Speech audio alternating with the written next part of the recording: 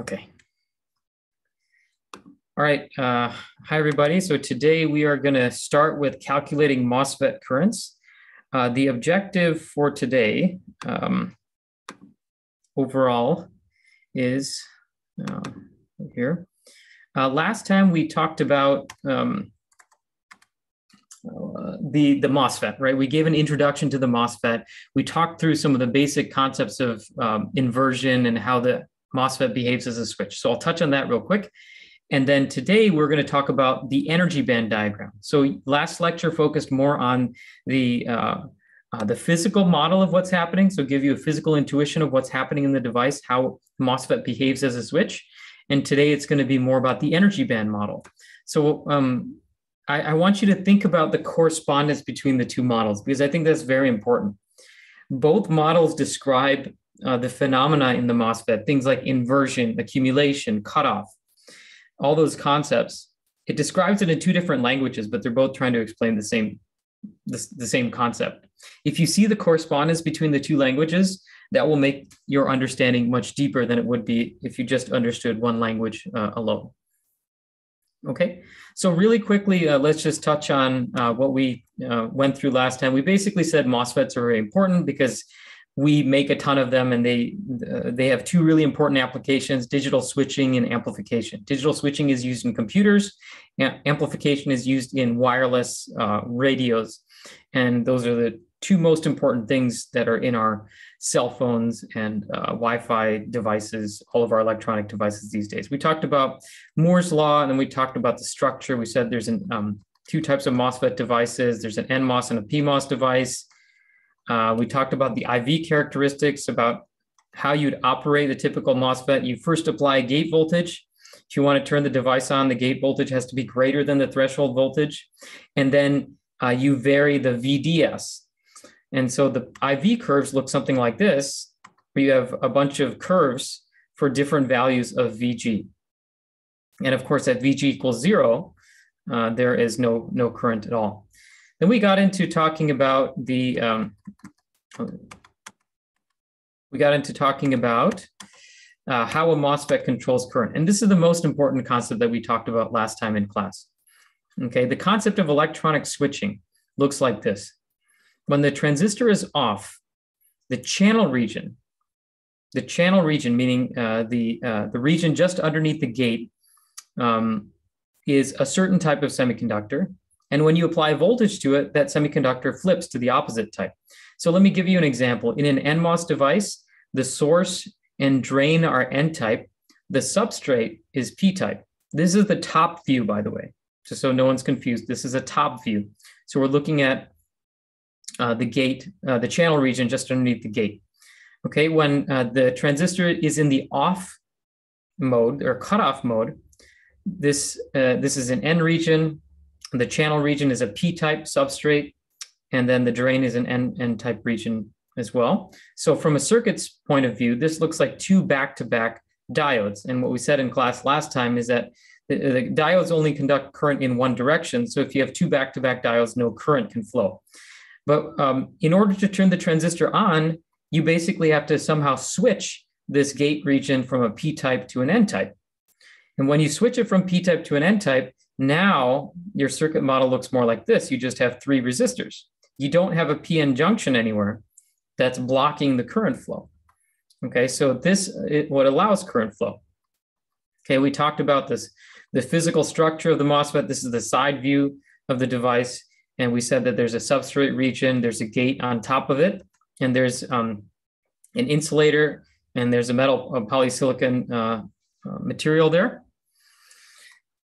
And uh, the key concept in inversion was that we apply a positive potential to the gate that builds a positive charge. It creates an electric field that goes that points from the gate into the substrate. That does two things. It pushes away the holes. It pushes away the majority carriers. And then it also pulls in electrons. It pulls in the minority carrier. And so the interesting thing that happens is that just underneath the gate region, uh, you invert the material from p-type to n-type right? Because N type means you have lots of electrons, very few holes, and a P type is vice versa. So by applying a field, you've pushed away the holes in the P type material, you've pulled in the electrons, and that effectively switches it, inverts it from a p-type to an n-type uh, material just underneath the gate region. And this is done just by applying a voltage to the gate. So you can very quickly create this inversion channel and uh, create a conductive path between the source and the drain.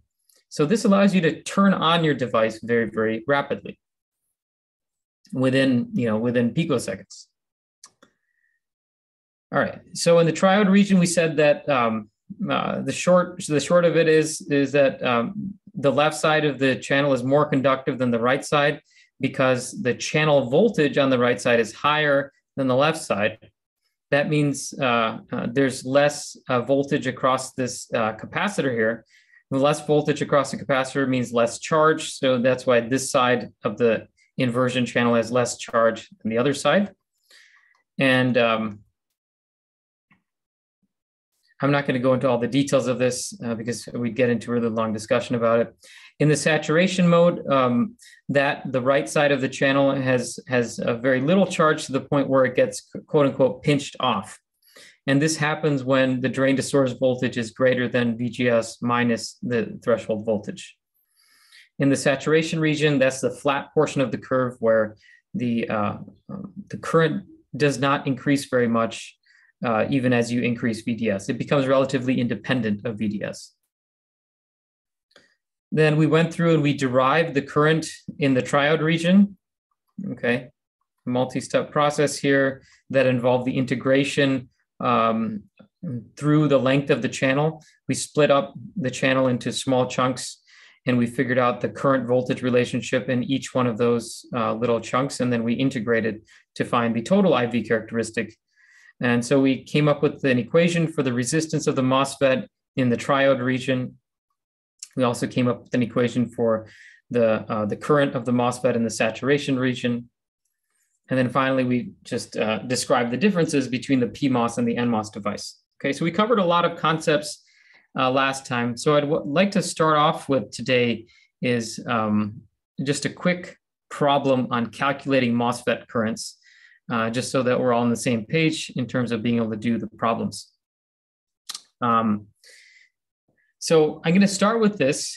Uh, so this problem is asking us to use the equations in the triode and the saturation regions of operation and uh, calculate the currents.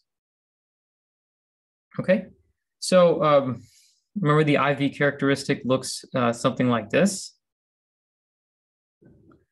VDS is on the x-axis, the drain current ID is on the y-axis, and the symbol looks something like this. This is an N-channel MOSFET. So the gate is here, the drain is up here, and the source is down here. Okay, the way that we operate an NMOS device is that we apply a VGS. This is the positive terminal. It's applied between the gate and the source. Then you also apply a VDS, between the drain and the source. The VGS is between the gate and the source. VDS is between the drain and the source. And the current ID flows through the drain, through the channel into the source. Okay. So what we're being asked to do here is that um, uh, calculate the current under a couple different conditions. So the electron mobility is 200 centimeters squared per volt second. What is electron mobility? It has to do with how fast the electrons can move uh, through the channel. And we've learned things like, you know, electron mobility depends on uh, things like scattering, uh, what type of the material it is, how much voltage. Well, it's not dependent on voltage. It's dependent mainly on the scattering mechanisms within the semiconductor. Higher mobility means electrons can move faster in response to an electric field. Uh, the gate oxide thickness is 10 nanometers. That's the thickness of the insulator just above the gate. Uh, that determines a lot of the important properties of the diode, including the capacitance of the diode. Uh, threshold voltage is 0.6. That's usually determined uh, empirically by experiments once the MOSFET is manufactured. And then the width is 25 microns, length is one micron. So let's talk about what this is. Um, I'm going to draw what the MOSFET looks like in the side view first. The side view, we can draw the MOSFET like this. So this is an N-channel device. So the source and drain are both N-type. And there's a P-type substrate here. Okay, the gate region is like this. So there's a gate oxide, and on top of that, there's the gate metal.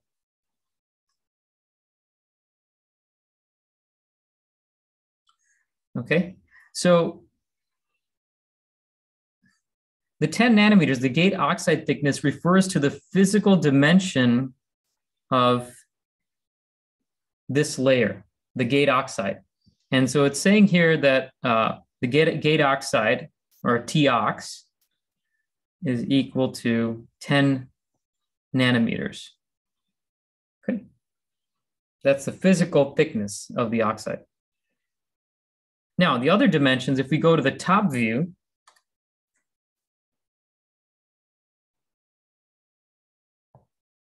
let me just erase this, put it up a little bit higher. I'm going to show the top view now.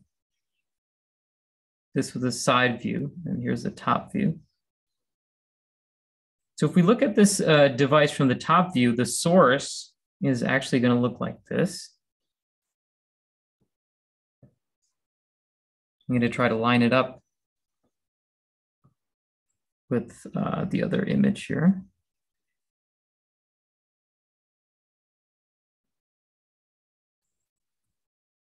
Okay, this is going to be the source.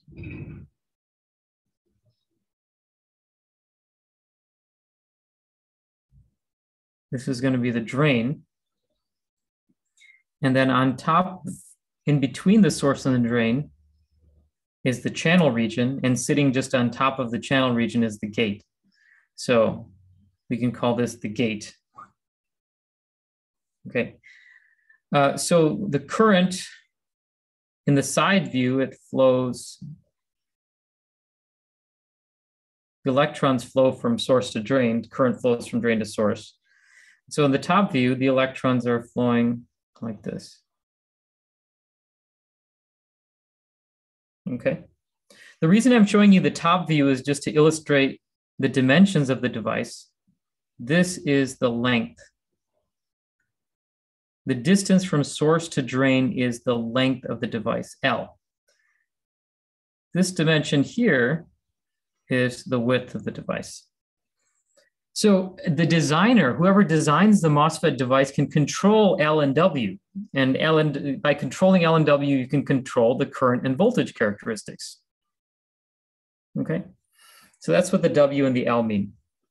All right, the first part is calculating the drain current when VG is 5 volts and VD is 0.1 volt. What region of operation are we in? Uh, can someone in the class tell me what region of operation are we in? It's either, uh, well, it's either cutoff, triode, or saturation? Triode. Triode, that's correct. And and uh, what's the rationale, Melvin? Um, so we're um, that when I said that, I assumed that the source was at zero volts. So um, the the the V the VD is larger than um, the VG minus the threshold. Exactly. Good. Good. Yeah, it would have been appropriate to say VGS instead of VG. Uh, Melvin, thanks for that. Um, so VGS is greater than VT. So that means we're uh, not in cutoff.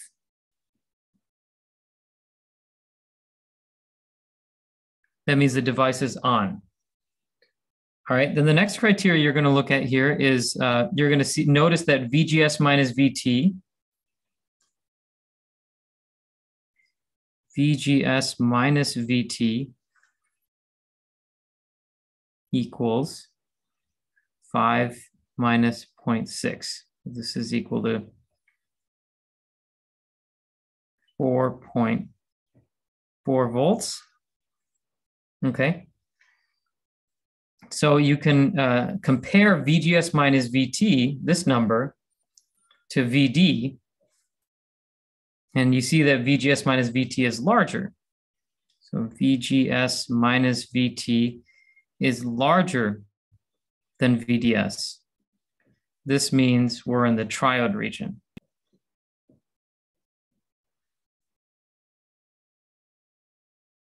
Okay, so if we're in the triode region, we're going to go back and use the triode equations here. Mu n C I W over L, Vg minus Vt times Vd minus Vd squared over 2.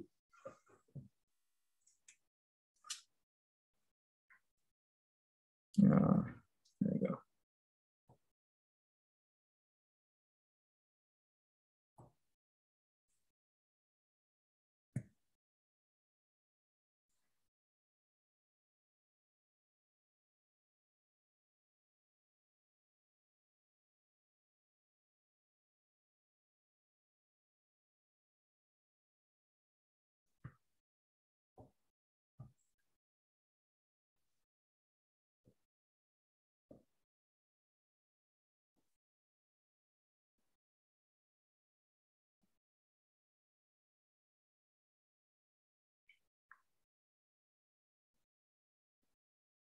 Ah.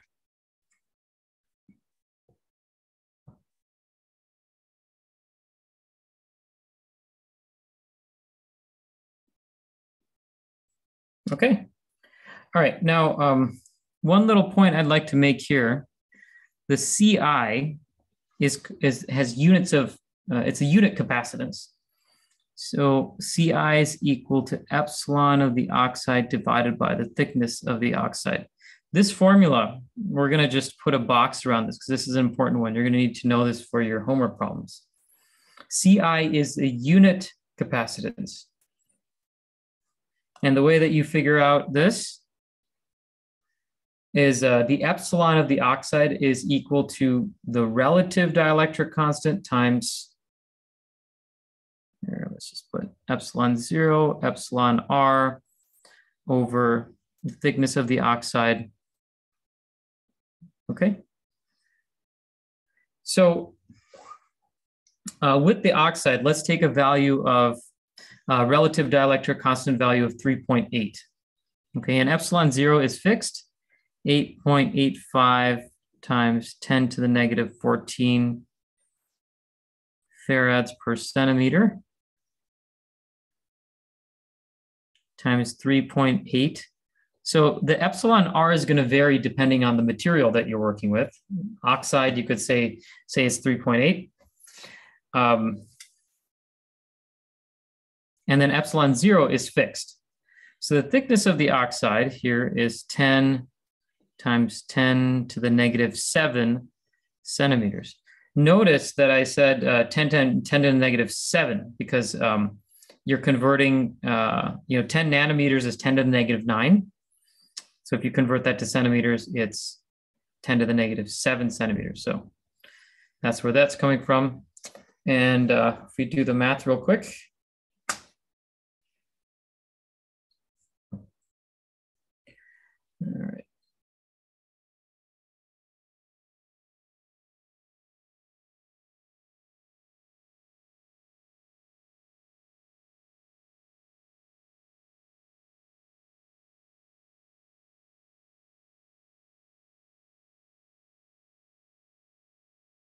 Okay, this is going to give you 3.36 times 10 to the negative 7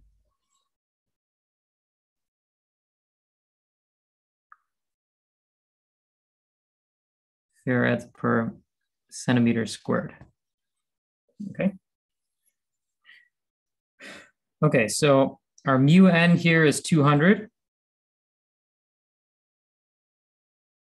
And I'm not going to put in the units just because I'm trying to save space here. But just remember that all your units, the length for your units has to be in centimeters. So just be careful about that. This is centimeters squared per volt second. Uh, now we're putting our CI, which is in terms of farads per centimeter squared, 3.36 times 10 to the negative 7. The W over L ratio is 25 divided by 1.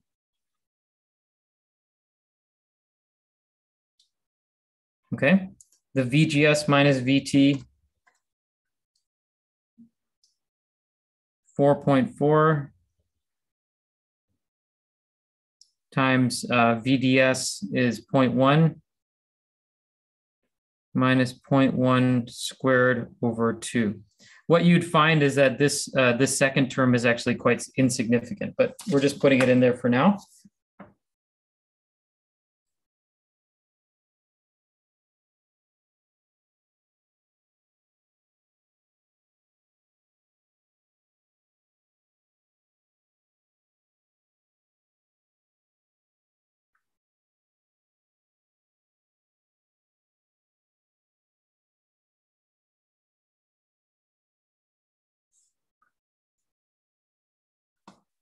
Okay, so this is going to be equal to 7.3 times 10 to the negative 4 amps.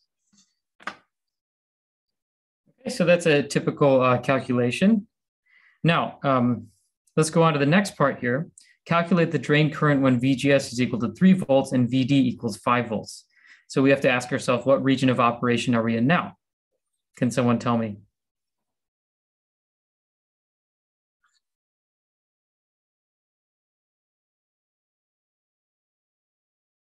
So we know just like before, we're not in cutoff.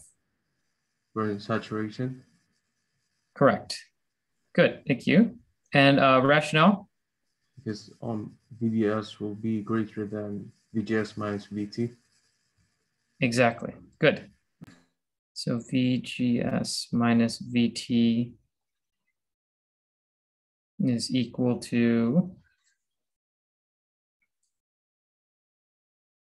3 minus 0.6. So this is 2.4 volts.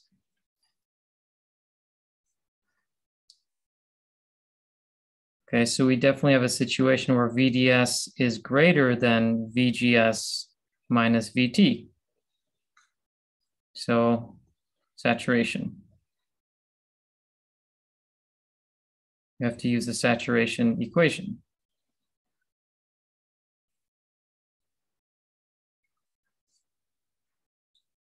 So in saturation, the current is equal to one half mu n C ox W over L VGS minus VT squared. Okay, so notice in the uh, this equation, the equation for the drain current in uh, saturation mode, just pulling this up here. There's no dependence on VDS, okay? Notice there's no VDS in this equation. Okay. This is because uh, in the ideal model of the saturation region, the uh, drain current is independent of VDS. As we'll see later that actually this is not entirely true if we take into account uh, the early effect or the short channel effect. Okay, but for right now, we are just we will just use this equation.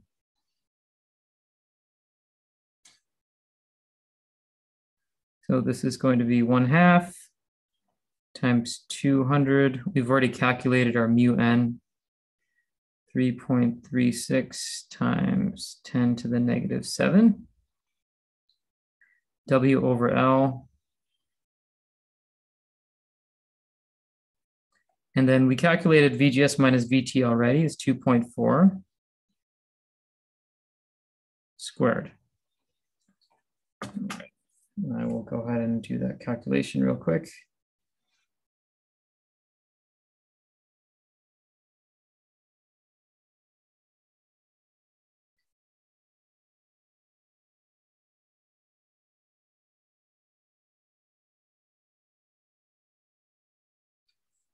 All right. This is 4.8 times 10 to the negative 3 amps. Okay, so um, if we want to draw this out in the end, we, we don't have to, but um, uh, you know, I'm just giving you a sense for what the IV characteristics would look like. If uh, VGS is equal to 5 volts,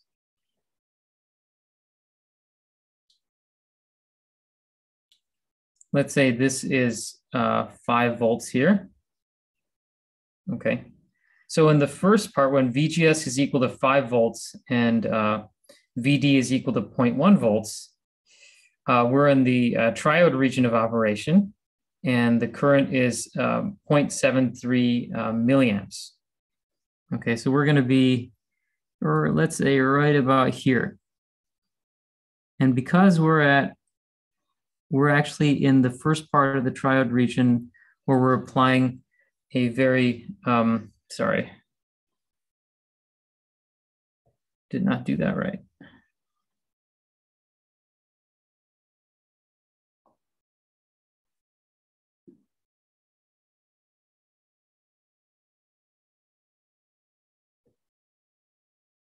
Okay, when uh, VGS is equal to uh, 5 volts, VGS minus VT is equal to 4.4. So saturation is going to start at 4.4 volts. Um, so the IV characteristic for that is going to look something like saturation is going to start here. We're going to be in that part of the curve. And uh, we'll get to the second one in just a second. The, the uh, drain current when VGS is equal to 5 volts, VD is equal to 0.1 volts. So uh, part A, we're right about here, well in the triode region. So this is part A. And this is the curve for VGS equals 5 volts. Part B is when VGS is equal to 3 volts. So it's going to look more like this.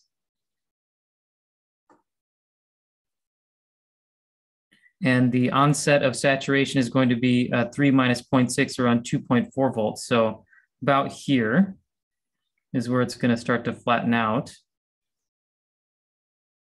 And below here, it's going to look something like this.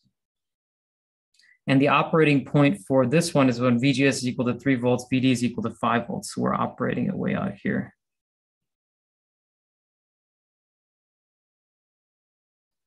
Okay. So this is part B. Different parts of operation. Okay. Any questions on this problem?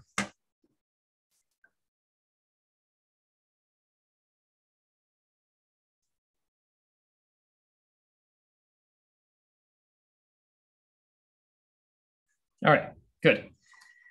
All right, now let's continue on to the uh, new material. So now what we're going to do is we're going to draw energy band diagrams. We're going to start with the energy band diagram at equilibrium, and then we'll go on to the energy band diagrams in other regions of operation. Okay, remember again, like uh, make the correspondence between the energy band diagram that you see here and uh, uh, the physical model. So equilibrium in this case for an NMOS device, an enhancement mode NMOS device, NMOS at equilibrium means cutoff. Okay, we're not applying any voltages uh, to the gate. We're not applying any voltages to the drain or the source. And we're looking at what the energy band diagram is in that case. We know the device is, is going to be off, but let's see what the energy band model tells us.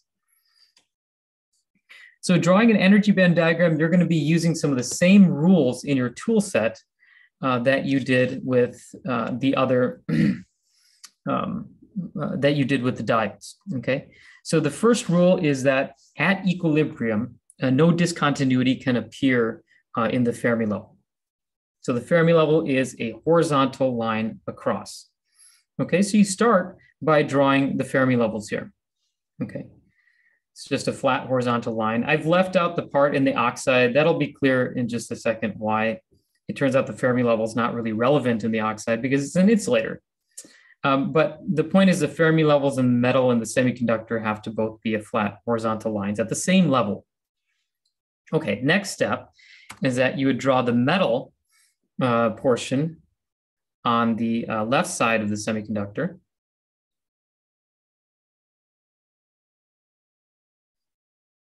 Uh, and then the semiconductor on the right side. Now, one thing I want to clarify here, um, this is sometimes a point of confusion for the students. Um, where are we drawing the energy band diagram? Because the NMOS is, the device looks like this. Right, this is the source uh, and the drain here. And then there's the gate here. Where we are drawing the energy band diagram is through this cross section here, okay? Not the horizontal cross section. We're looking at the vertical cross section. The vertical cross section consists of a metal, then it consists of the oxide, and then it consists of the semiconductor just underneath that. Okay, so just to totally clarify, we are looking at the vertical cross section. Okay, so let's pick up where we left off here. So the metal, the top layer is going to appear at the left of the band diagram, Fermi level here, uh, and then uh, the oxide in the middle, and then the semiconductor, the p-type substrate on the right side. That's the bottom here, the channel region. Okay, so we start by drawing the metal uh, on the left, and the metal only has uh, the E0 and EF. So just as a reminder, we did these kinds of drawings when we were looking at metal semiconductor junctions. Metals, they don't have a prescribed conduction or valence band. The Fermi level typically appears within one of the bands. And for that reason, that band has a lot of carriers and a lot of empty states. So it turns out to be quite conductive. The concepts of conduction and valence band are less relevant to a metal, so we don't bother drawing it. The way to think about a metal is that um, if the Fermi level is within the band, below the Fermi level, you have lots of electrons, and above the Fermi level, it's relatively empty. And then there's also a free electron level, E sub zero. The free electron level is the energy required to eject an electron from the metal entirely. Okay, that's a photoelectric effect. And so the work function of the metal is the energy required, uh, the difference in energy between the Fermi level and uh, the free electron level, Q phi m. Phi m is the work function of the metal. Now we draw the oxide, and the oxide is an insulating material. Insulating materials typically have very, very large band gaps, and they don't have any carriers. Carriers cannot flow through them. So the concept of a Fermi level is not really relevant to um, an oxide, at least in the context of a MOSFET, it's not relevant. So we don't even bother drawing it. Okay, the oxide has no carriers. So we just draw it as a region like this. The next step is drawing the, the p-type semiconductor on the right, the channel region. And here, uh, again, you at this point, you've drawn many uh, diagrams, energy band diagrams of semiconductors. So you should know at this point how to draw the conduction, valence, intrinsic level, and the and even E sub zero, which is the, the free electron level. So I'm just going to draw the uh, draw it kind of step by step for you. The first thing you do is based on the doping. Based on the doping, you can calculate the distance between EF and EI, and that we call it Q phi F. Okay, I just remember this is a new terminology. Phi F.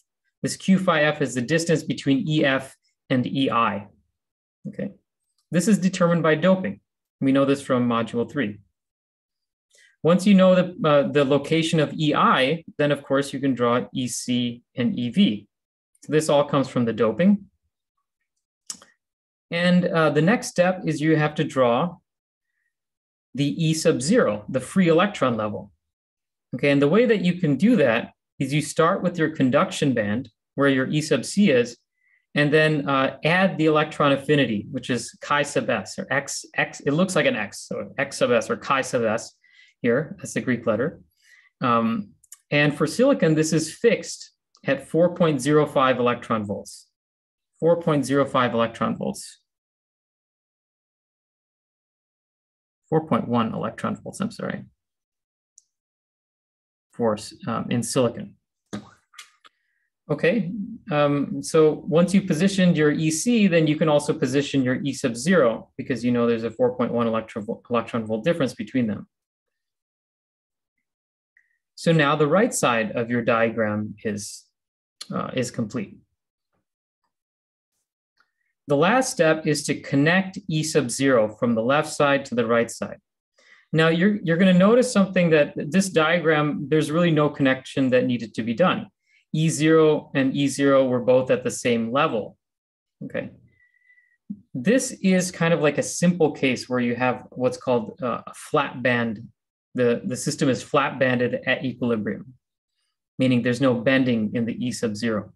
This is not always true. In fact, most of the time it's not true.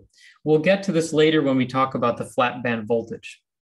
Okay, but if your E sub zero is at a different level than the E sub zero of the metal, then there's going to be some bending of the band diagram.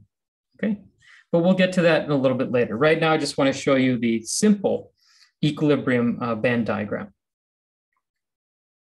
Now it comes to analyzing the band diagram.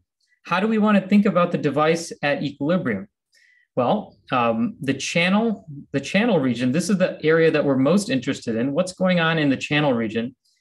Uh, you can see that the channel region is p-type at equilibrium. The Fermi level is far away from the valence band. I'm sorry, the, the Fermi level is closer to the valence band than it is to the conduction band. Sorry about that. So it's p-type. And so you can think about there being a lot of uh, holes um, in the valence band here. But those holes really have nowhere to go. Okay, they see an energy barrier here, the oxide. And the way to think about this, you know, you can think about it in terms of an energy barrier. You can also think about it as that from the physical level that the holes, um, there are lots of holes under here, but the holes can't go into the metal or anything like that because there's an insulating material in between them. So that's the diagram at equilibrium. Okay, now this is what the diagram looks like in the book. Same thing that I've drawn here the Fermi levels. On the left and right side, you have the intrinsic and conduction band and valence band. This is the final band diagram. I just showed you in the previous slide how to do it uh, step by step. Okay, so this is just a, a reference.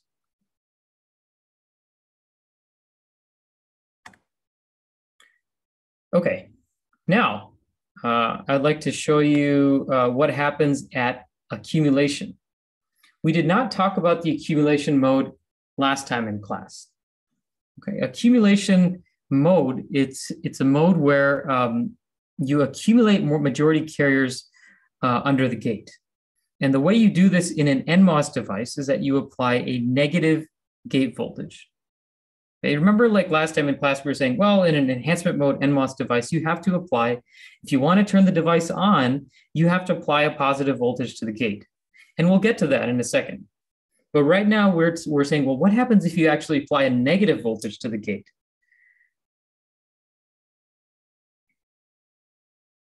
Can anyone think of what would happen? Let's draw this out real quick. I think this is a good thought exercise.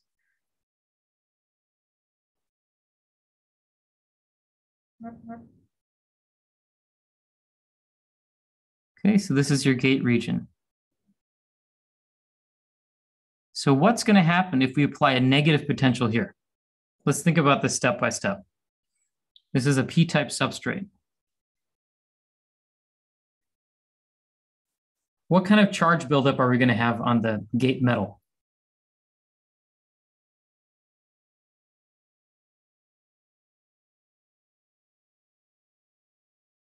Negative charge. Good. Negative charge. And what, what direction is the electric field going to point? um, it'll point towards the gate. So towards the gate. P, P to exactly. the gate. Yeah. So the electric field is going to be pointed in the upwards direction. If the electric field is pointed in the upwards direction, what's going to happen to the carriers, the majority and minority carriers in the channel region?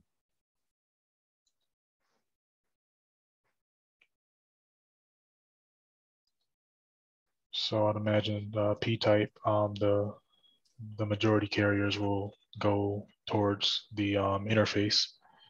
You got and, it. And um, the minority carriers will kind of go towards, I guess, the rest of the substrate. Yeah, that's right. Yeah, the minority carriers will get pushed out and the holes will get uh, pulled in. That's right. I haven't shown the electrons in there just to, for less clutter, but um, the, the major effect that happens is that a lot of holes get pulled in. So you've made it even more p-type than it was before. So that's obviously not going to give you a conductive channel between the source and drain. But nonetheless, we like to draw the energy band diagram of it just to, to um, you know, build our understanding of these different modes of operation. So accumulation mode refers to the accumulation of majority carriers under the gate. Um, in an NMOS device, this can be achieved by applying a negative gate voltage. So that's what we just did here. The rule is if you apply a negative voltage on the metal, this is an energy band diagram rule, by the way. if you apply a negative voltage on the metal, EF on the right side of the diagram goes down relative to the left side. Okay, remember it's the opposite. And whichever side has a higher potential has the lower Fermi level. Okay. All right, so what you see here is uh, the, uh, the NMOS junction. This is what the band diagram looked like at equilibrium. Okay, so what I want to show you here is that the entire right side of the diagram is going to move down relative to the, relative to the left side. So um, just watch this animation here, and so you can kind of see what happens here. Okay, I'll just show that to you again. This is this is the mental model I would like for you to have. Imagine that the entire right side of the diagram at equilibrium. Now that now you're no longer at equilibrium, so the Fermi level on the right side has to be lower than the Fermi level on the left side because this side has a lower voltage on it. So the entire right side of the diagram moves down. The Fermi level moved down and all the other ones moved with it. Okay, so now we're in a situation where you can see that there's a discontinuity in E sub zero. Okay, when we, um, just to give you a little bit of context, remember when we, um, in a PN junction, initially when we put the two materials together and the Fermi levels, we lined up the Fermi levels, the two bands were not connected. And so we said, well, the bands have to be continuous. That's also true in this case. E0 has to be continuous. Remember, the metal doesn't have EC or EV, so we don't need to do anything about those, but the E0 has to be continuous. You can't just have a sudden drop here like this. So what ends up happening is the bands bend. The semiconductor bands bend like this. This is what that looks like. I show that to you again. The bands curve up like this. Okay, when E0 curves up, the other bands do as well, because the distances between the relative the bands always has to remain the same in a particular material. So when E0, EC, EI, and EV, they all curve up. Now we can kind of analyze, well, what's going on here? Um, out here, it's the same as before. It's still a p-type uh, p-type semiconductor. But the difference is this, is that the holes, the holes can always move back and forth, right? But here, when they move, let's say the holes move to the left, the holes will actually get trapped in what's called a potential well. Okay. Now let's let's think about why that happens again. Okay. This has to do with drift currents. In energy band diagrams, drift currents are represented by the rules that holes like to move up the slope and electrons like to move down the slope. Okay, so in this case, you can uh, you can see that the holes can they can always the holes can always move horizontally and so can electrons. But once they get to this point, the electric field is going to pull them in and trap them in this little potential well just next to the channel. That's how they get trapped there. Okay, so do you see the relationship between the energy band diagram and what's happening in the physical model? The physical model, you see the holes get pulled in, and there's a whole bunch of holes that are built up just underneath the channel here like this. And that is exactly what is shown in the energy band diagram. The slope in the band diagram represents an electric field. Okay, we know that there's an electric field uh, buildup, especially close to the gate oxide. Out here, the electric field is zero. So out in the p-type substrate, the electric field is zero. The, elect the strong electric field happens just underneath the gate oxide. Any questions on this? This is the uh, accumulation mode. Yeah, go ahead, Melvin. You had a question, um, I guess, uh, the, the oxide, would it hold any of the electric field at all, or is the electric field at the right side of the oxide or the bottom of the oxide and the um, I, I, didn't quite get the question. You, you, said the electric field on the right side of the oxide? Uh, yeah, so uh, well, the, the oxide, which is like the, the insulator, would, would, would it hold any electric field at all? The electric field is actually, uh, most of the electric field is contained in the oxide. Okay, okay. There's just a little bit, little bit of that electric field that leaks out into the semiconductor. Okay, so the vast majority of it is in the oxide. Yeah. I see, I see. Okay, Yeah, so, yeah. Because, because It's just an electromagnetic, uh, a rule in electromagnetics to kind of like uh, a rule of thumb to kind of pick up here is um, dielectrics are good. They're good at supporting electric fields. That's why dielectrics make good capacitors, capacitor materials. Mhm. You can have a strong electric field in a dielectric. You cannot have a strong electric field in a in a conductor. In fact, the in a perfect conductor, the electric field is always zero. Yep. Now, in a semiconductor, a semiconductor is something in between a conductor and a non-conductor, right? So the semiconductor can support um, electric fields somewhat. Not as well as a dielectric, but it can. So is So- that like, Mhm. sorry, um, is, it- is that like, I guess, part of the, the energy band diagram where, um, where we're used to like in the PN junctions, we say, you know, a certain slope in the energy band diagram corresponded to a certain, um, electric field. Um, but now when we're looking here at E0 on the left side, E0 on the right side, um, the vast majority of the slope is on the semiconductor. And That's right. we, we, we don't represent any, any slope in the oxide because it doesn't have any levels or it has a very large band gap. So um, I, I, I, I I know what you mean that the oxide can kind of hold an electric field. I just, and kind of looking in terms of the energy band diagram, you know, how do we know in terms of, you know, band bending? Ah, yeah, yeah. So um, actually, if I with with the oxide, we'll see in some of the diagrams later that the energy band diagrams do actually have a slope through them. I see, I see. The Okay, oxide has a slope through it to indicate that there's a strong electric field in the oxide. I see. Okay, I just didn't include that in this diagram because I'm just trying to cover like one concept at a time. But this is a very good question. Thanks. Okay. Yep. All right, let's continue then.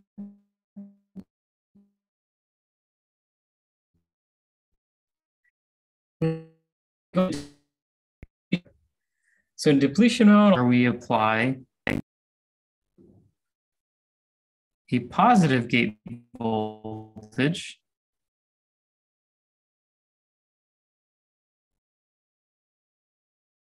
Uh, can everybody hear me? I just want to do a double check. I just had a message saying my internet connection's unstable.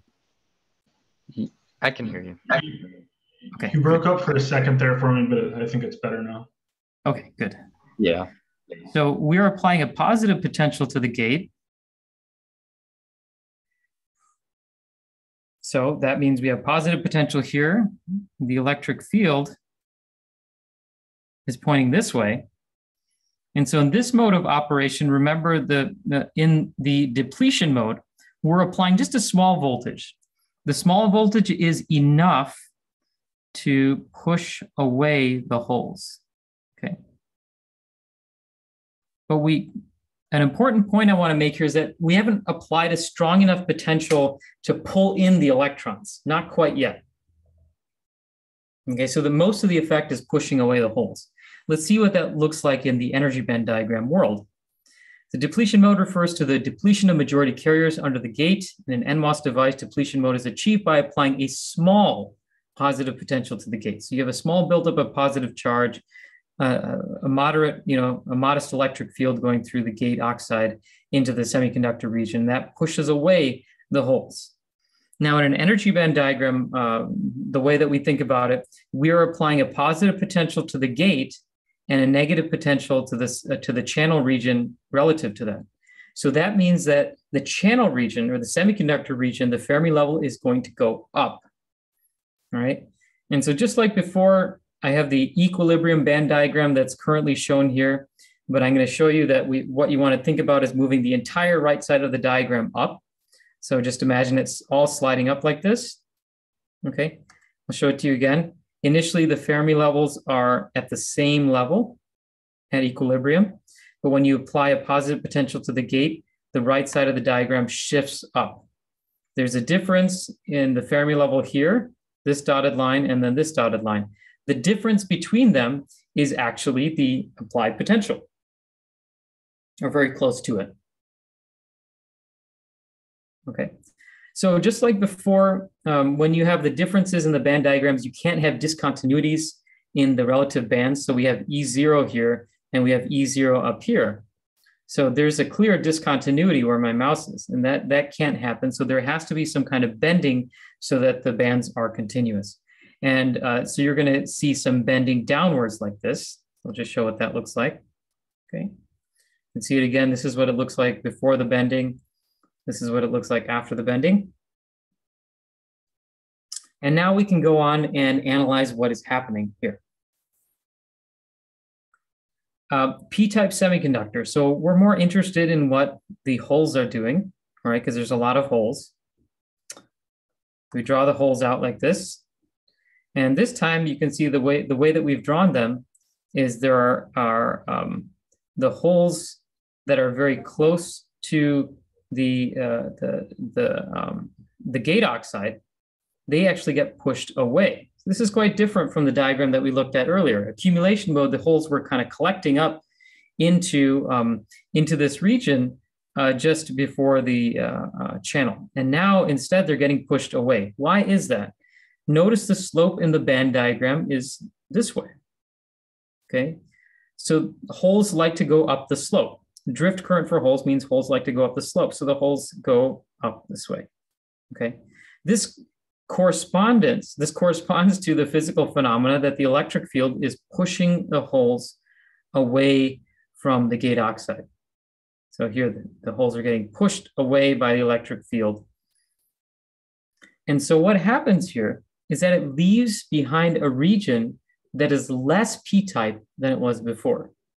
Less p-type than it was before. How do we know that? This is another little, another little detail in the energy band diagram. Look at the distance between EF and EV. Okay, this is a typical p-type semiconductor, right? at the interface, at the interface, you can see that the EF is farther away from EV. So, um, and in fact, EF is almost to the point where it's crossed, it's crossed over EI. Okay. So here the EF is pretty close to EV. This is p-type. Here EF is farther away from EV. It's less p-type. And you could argue that, well, this almost looks like an intrinsic material because EF and EI are in the same place. Right, so the energy band diagram actually tells you a, a lot of information.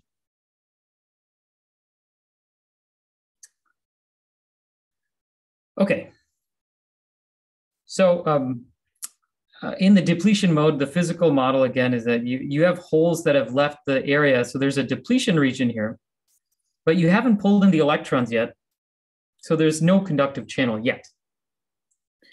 Okay, and the final diagram, any questions on this diagram before we go to the inversion diagram?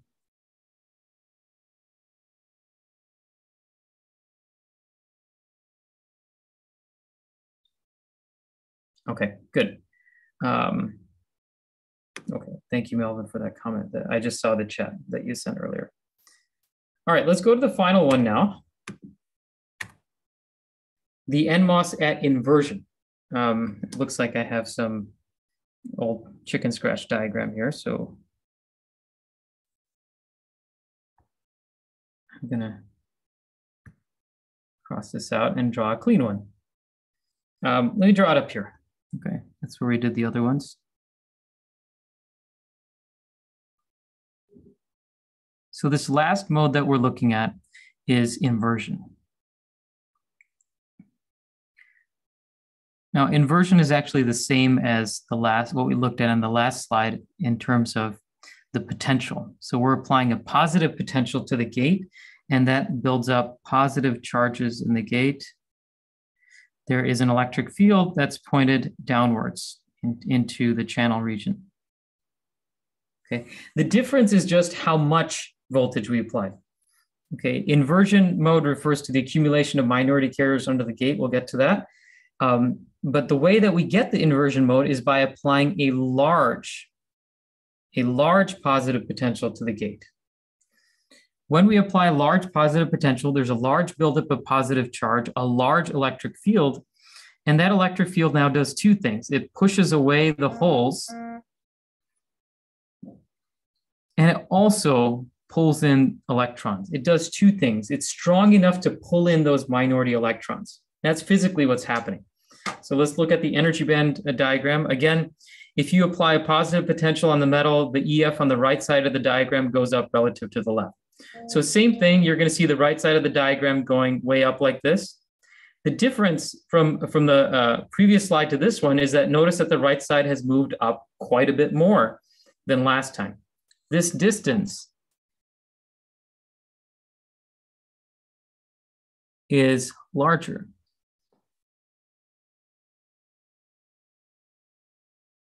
than the previous diagram. Okay, so there's a larger difference in Fermi levels, so there's going to be more band bending than there was in the previous case. And the band bending looks like this. I'm gonna show you again, this is what the flat lines look like. After you do the band bending, it looks, uh, looks like this. All right, so now,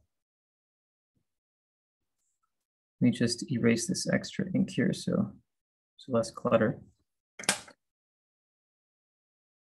So now when we look at this diagram, you could see some interesting things happen. Of course, the, uh, let me just get to the one. Of course, the, the holes that were here, they get pushed out. Okay, just like before. So there's still depletion region happening, you have this electric field here. There's a slope in the line here. So there's obviously an electric field. In fact, the electric field's stronger than the last time because there's more bending. But the key difference is this. Okay, we've pushed away the holes, but at the same time, there's also electrons that have been pulled in.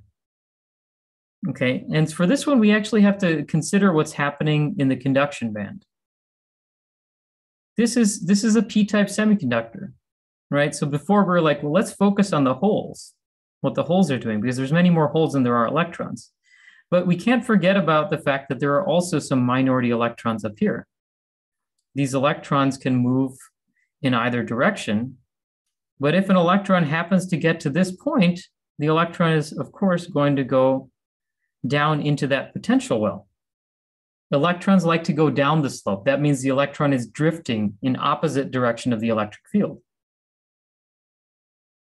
So as a result, the electrons get pulled in by the electric field, and then they stay there. This little thing is called a potential well. You know, you think about like getting stuck in a in a drinking water well. This is like the electrons get stuck in that little potential well. Okay, so physically what's happened, and you can see that by looking at the location of the Fermi level. Notice that the Fermi level is above EI. EF is above EI. So this means you have inversion.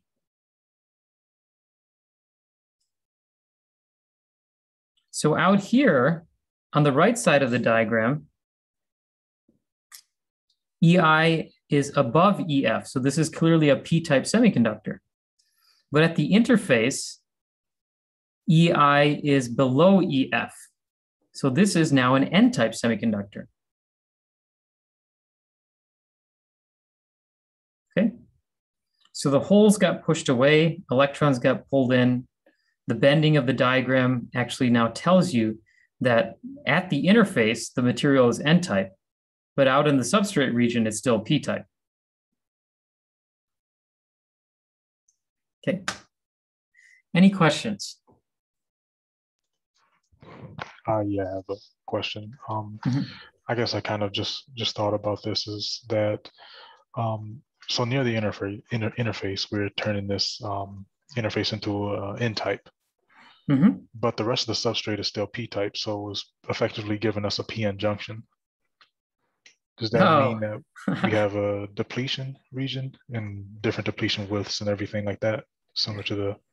Oh, great question. Yeah. In, in fact, there, there is a depletion region. Wherever you have this entire zone is actually a depletion region.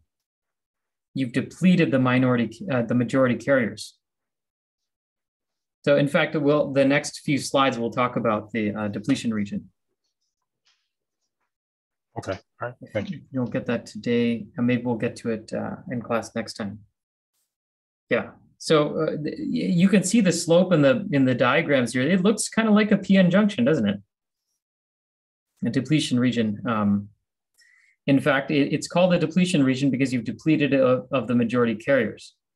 The depletion region forms, but in addition to that, an inversion channel forms. So there's two effects happening. Okay, so to summarize, here are the different modes of operation. And these are some uh, diagrams from the textbook.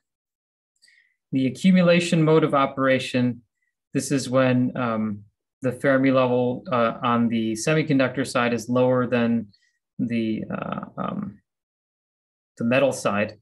There's an electric field. Um, and Melvin, you had asked about the slopes in the oxide regions. So these diagrams actually do show you the slopes of uh, E sub zero in the oxide regions. So this tells you there are strong electric fields in the oxide. So accumulation mode, uh, you apply a negative potential to the gate, uh, you end up getting uh, buildup of positive charges in the channel just underneath the gate. Um, in depletion mode, you are applying a positive potential to the gate. And so the Fermi level on the right side of the diagram goes up. Uh, this pushes away holes from the channel region.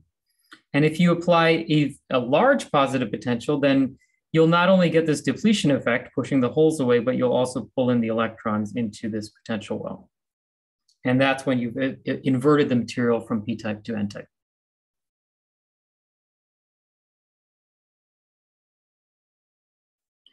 So now that we've talked about what happens at inversion, now we have to start getting a little bit more quantitative. So what exactly happens at strong inversion? So um, we have to first define what inversion is. What, what is strong inversion? And this slide is, gives the, the textbook a definition of what that is.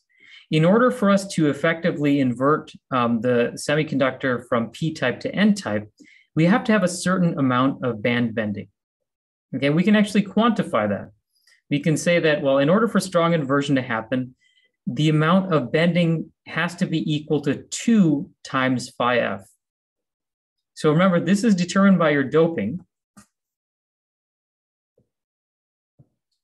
Right, the distance between EI and EF is determined by the p the substrate doping.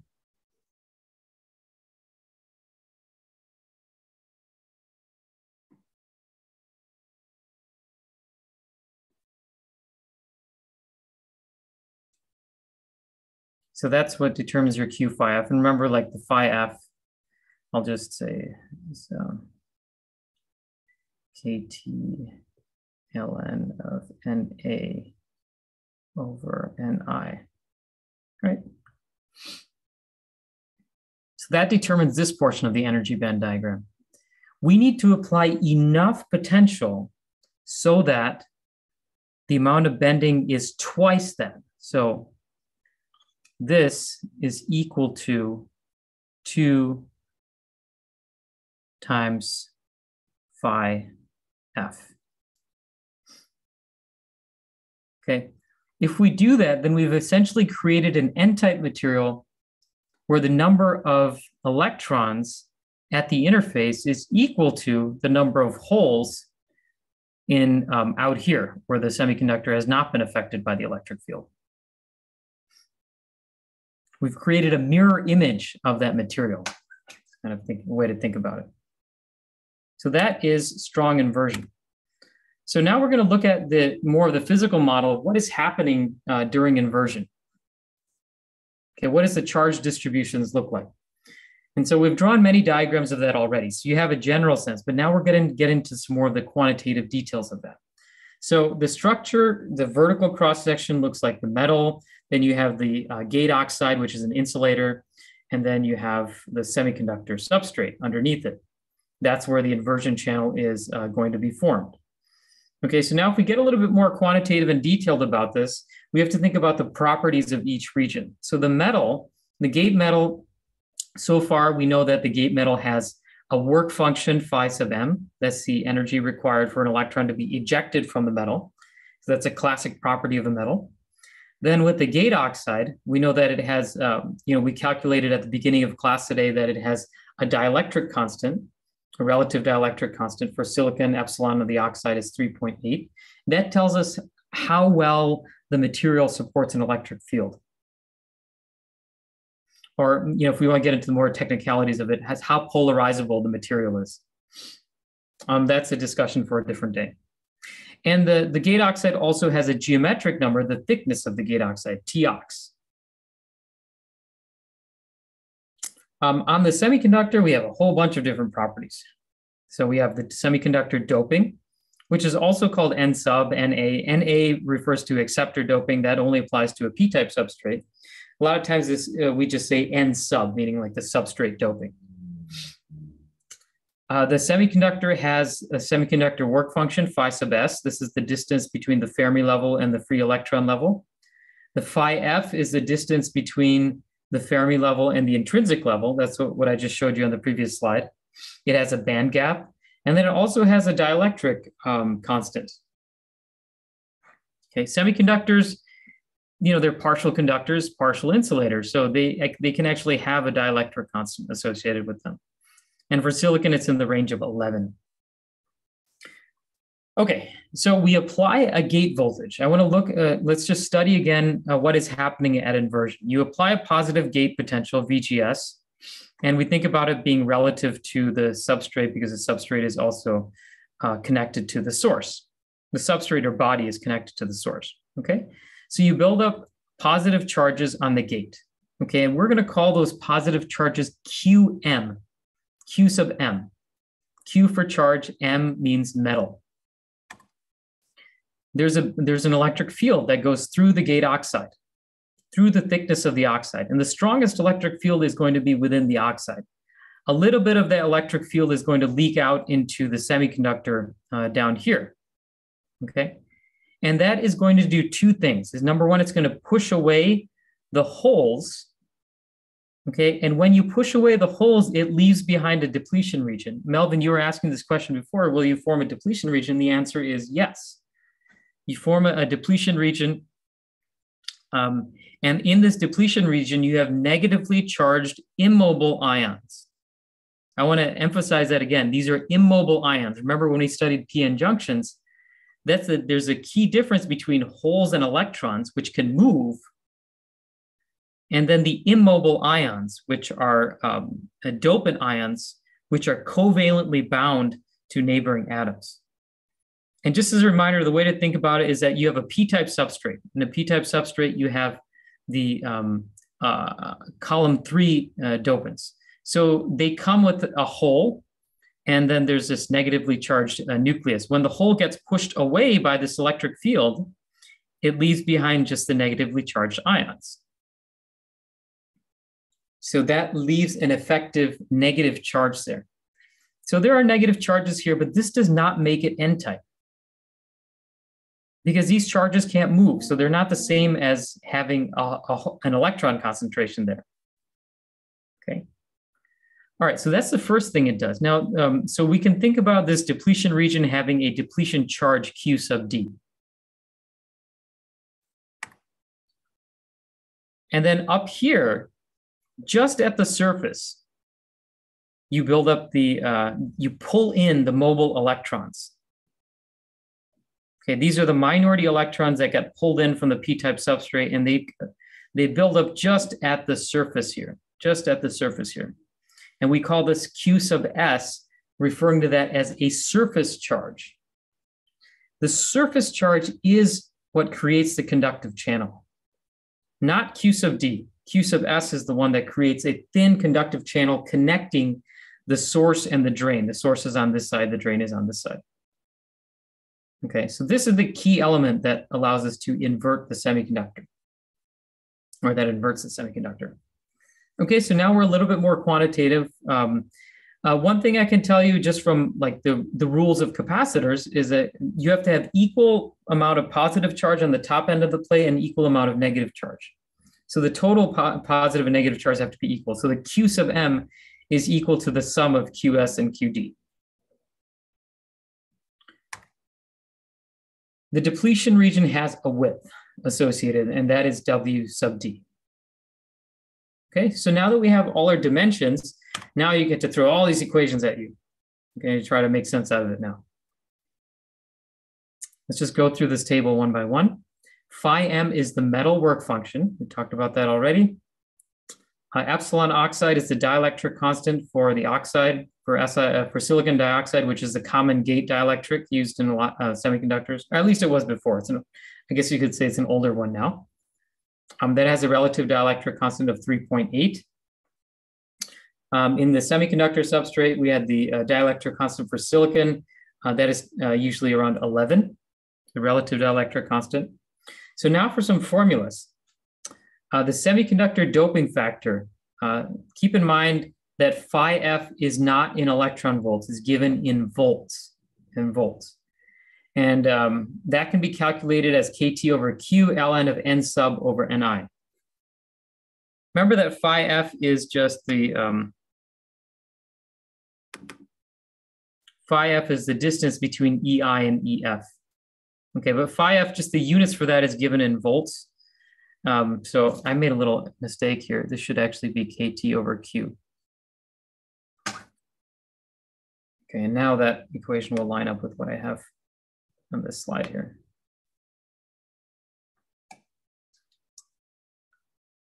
Okay.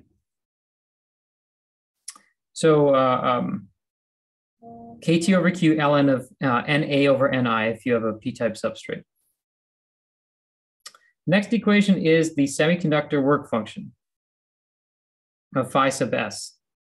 So phi sub s we know from before when we were looking at metal semiconductor junctions for uh, a p-type device it's um, is chi sub s plus eg over 2 plus q times phi f. Let me give you a quick uh, visual of what that looks like.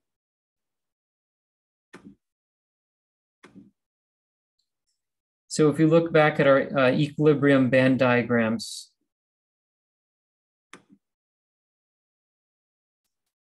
So the semiconductor work function has three parts to it. One is chi sub s, this distance here. Then you have to add up this distance here, the distance between EC and EI. This is EG over 2, the band gap divided by 2, because EI is halfway between EC and EV. And then the last part is Q times phi f. So there's three parts to that equation, and those are the three parts that you see here chi sub s, Eg over 2 plus Q phi f. Now, if you have a PMOS device, the band diagrams are a little bit different, and you can prove this to yourself, but this is a, actually, this turns out to be a negative sign because the Fermi level is above EI, not below it. Now we get into some, uh, some new things. The depletion width, the width of this area here is given by this equation. 2 times the square root of epsilon s times phi f divided by q times n sub. Now you can see this is somewhat similar to the PN junction equations. We're not going to go and, and, derive this uh, just in the interest of time. Okay, but you can see that there is a, um, it's dependent on the square root, the inverse of the square root of the substrate doping. Okay, so the depletion width can largely be controlled by the substrate doping. The substrate doping will change n sub, it will also change phi f. Um, kind of a rule of thumb to remember when we were talking about PN junctions, we said higher doping means smaller depletion widths. And that same is true with, with this as well. Higher dopings will, will make a higher density of negative ions here, and that means that the width will end up being smaller. The total depletion charge is the width, depletion width, uh, times the uh, doping density. So for an NMOS device, it's Q times NA times WD. And for a PMOS device, it's Q times ND. This is the substrate doping ND um, times WD. Remember, uh, just some signs to note here. In an NMOS device, the depletion charge is negative. So you can see these are all negative charges here. That's why there's a negative sign here. And for a PMOS device, these, uh, these ions, the depletion ions will be positive.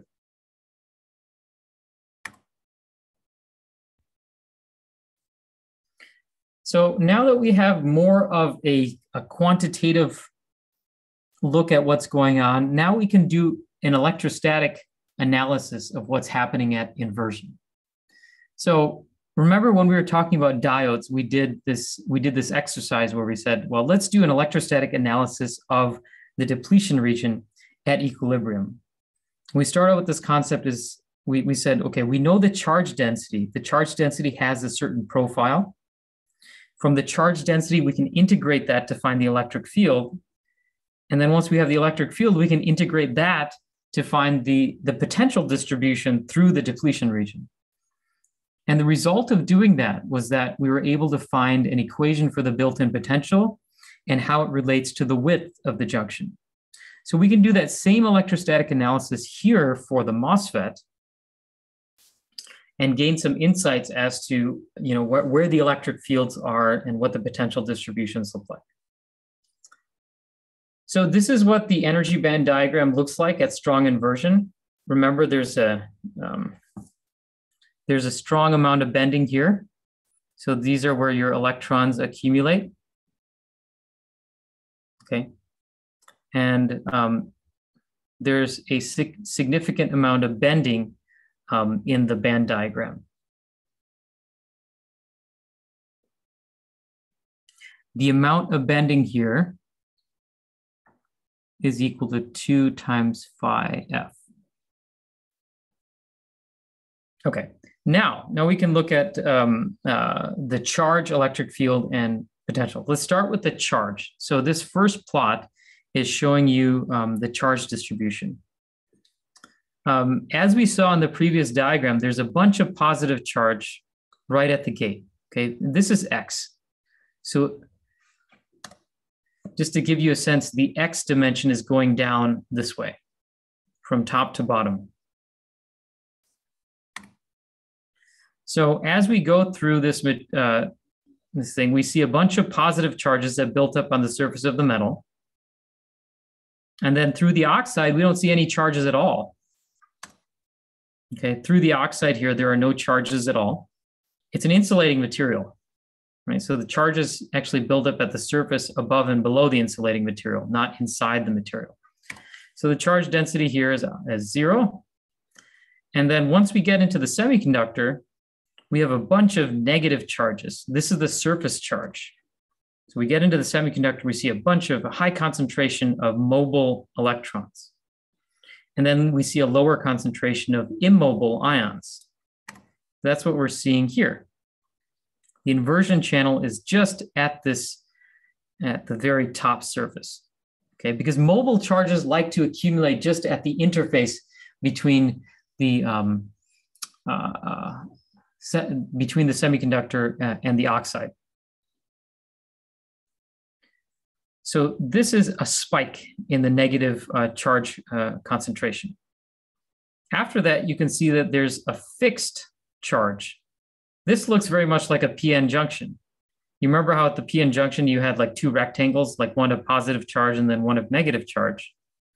So this portion here, this depletion region looks like a PN junction, but you just have this additional surface charge here. Okay, just like a PN junction, you have a width, the width of the junction, a fixed, um, fixed charge density, which came from the fixed doping. And so you have a total amount of negative charge, par partially due to the depletion region, partially due to the inversion channel. The total amount of, of negative charge here, the area under this curve, has to equal the area here. Okay, this area and this area have to be equal to each other. So now from, from this plot, you can go to the electric field plot. The electric field plot is obtained by integrating, by integrating the uh, charge density plot. Okay. And um, by the way, this is the last thing that we're going to cover here. so just maybe about five, five or 10 minutes here should be done. Now, when, when you integrate um, to find the charge density, the electric field from the charge density, um, you have to you have to take the integral of everything to the left of it. If if you don't mind, I'm just going to bring up this slide again.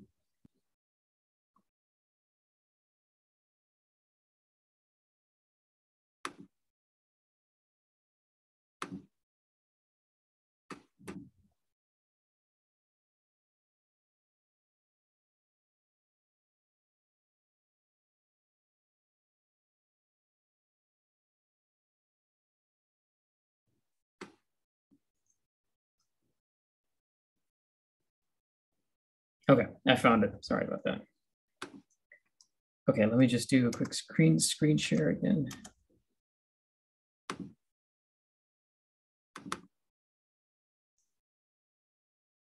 Okay.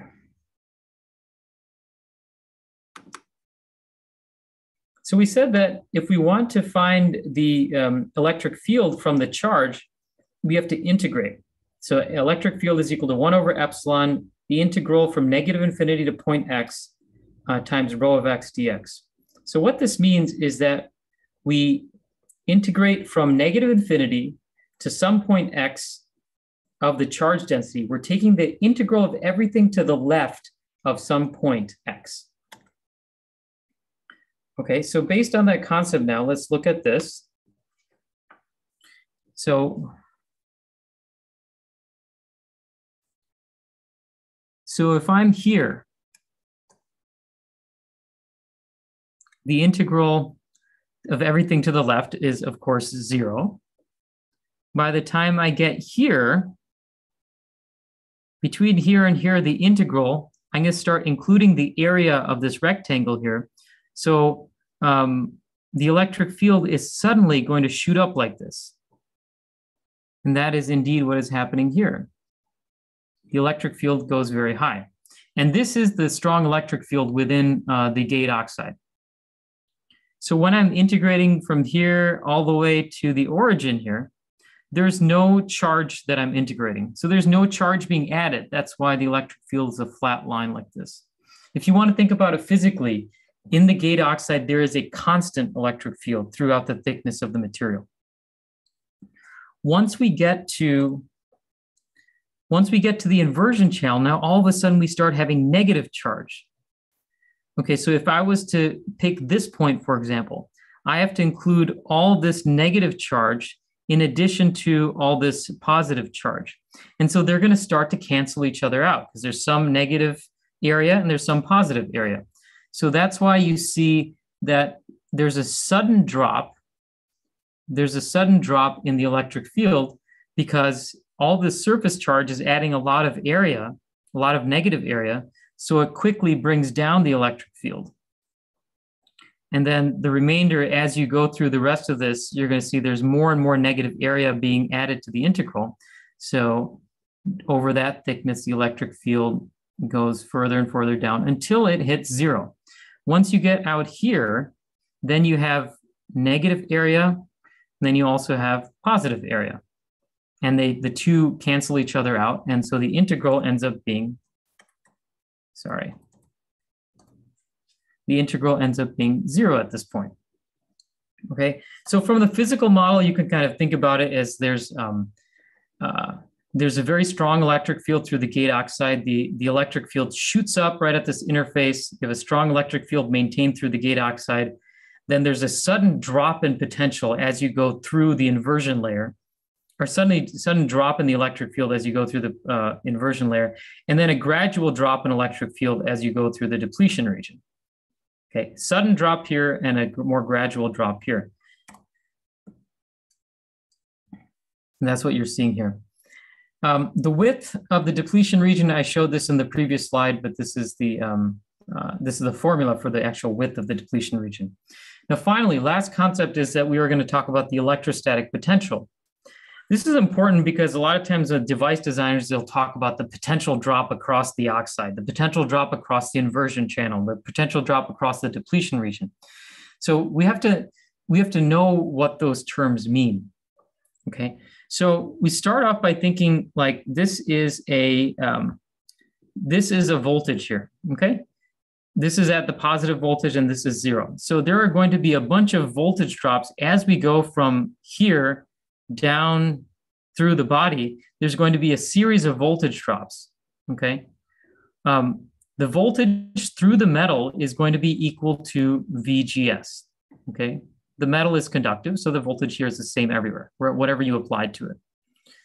Through the gate oxide, there's going to be a voltage drop because there's an electric field. Whenever you have an electric field, you have an associated vo the voltage uh, changes as you go along the electric field. So the voltage drops across here. And then uh, we know that there's um, there's an electric field in, in this region as well. So there's going to be a, a, potential drop across the um, inversion channel, and there's also going to be a potential drop across the depletion region. And, um, and that will be it. So you can see here that the voltage starts off here. This is the applied VGS. Okay, once you get through the gate, um, once you get to the gate, the gate, the gate dielectric, you can see the voltage drops here fairly linearly. Okay, this is kind of like a straight line. Okay, um, when you have an electric field through um, a dielectric material, this is just an electromagnetics rule. If you have an electric field that goes through a dielectric material, if the dielectric material has like a, a uniform cross-sectional area and uniform properties, the electric field is also going to be um, constant through that material. And so you end up getting a linear voltage drop across that region. Okay, and the voltage drop is referred to as VI in this diagram. This is the voltage drop across the gate oxide. There's a little bit of a voltage drop across the depletion region as well. Okay, so you can kind of see here that uh, there's a, a, decreasing electric field in uh, the uh, um, depletion region. If you integrate the electric field, you end up getting voltage potential. So this is a straight line. If you integrate a straight line, you get a parabola, and so you end up getting um, a parabolic decrease in the voltage potential here. Okay.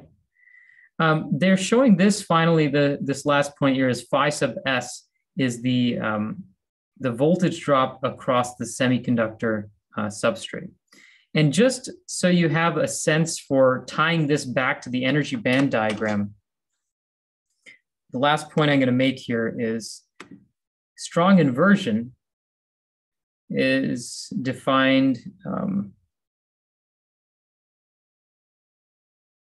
we define strong inversion in this diagram here. And we said this is Q phi S. Phi S is the amount of bending in the band diagram. Now, don't get this phi S uh, mixed up with uh, the semiconductor work function. The semiconductor work function is also phi capital S. I don't know why the book does it this way, but uh, the semiconductor work function, function is given by this formula.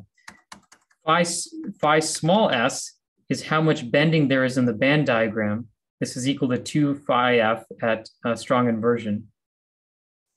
And this is the voltage drop within the semiconductor. Q phi s represents the voltage drop within the semiconductor. And that lines up with the phi s that you see here. This is, so I'll just label that. This is the voltage drop across the gate oxide.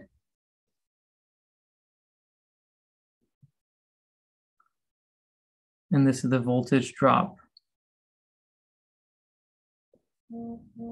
across the semiconductor depletion region.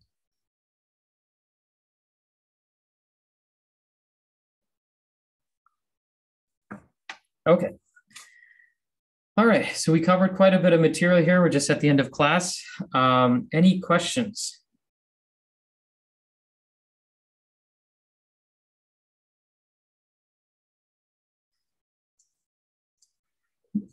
The typical things I would expect you to know, um, just for you know practical practical cases, is that um, I would like you to be able to calculate phi sub f phi sub s, the width of the depletion region, uh, calculate the de depletion charge, and so on. Um, I'm not going to ask you to derive um, the electric fields and charge densities and electrostatic potentials, but I would like you to be at least familiar with what the shape of these diagrams uh, look like and you know generally where they came from. You know, we we went through this very qualitatively, where the charges are, where the potential drops are, and so on. That's the type of thing I I would um, want you to know. You know, type short answer type questions. Um, the quantitative type questions would be things like, you know, calculating the currents for certain uh, modes of operation, drawing the energy band diagrams. Those ones we, we went through quite in detail, so I would expect you to be able to draw those. And next time in class, we'll cover threshold voltages and uh, being able to calculate the threshold voltage for a MOSFET. Okay, that's something we'll cover on Monday. All right, uh, so if there's no additional questions, I think we can um, end the recording here and uh, I'll see you all on on Monday. Thanks. All right. Thank you.